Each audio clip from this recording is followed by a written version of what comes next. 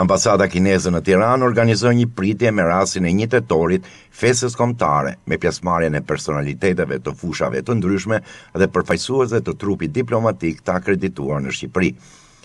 Marrëdhëniet diplomatike mes Kinës dhe Shqipërisë janë vendosur zyrtarisht në 23 nëntor të vitit 1949, Ndërsa në vitin një mijë e nëntëqind e pesëdhjetë e katër u hapën ambasadat në secilin vend. Në këto gjashtëdhjetë vite marrëdhëniet e bashkëpunimit mes Kinës dhe Shqipërisë kanë qenë të qëndrueshme.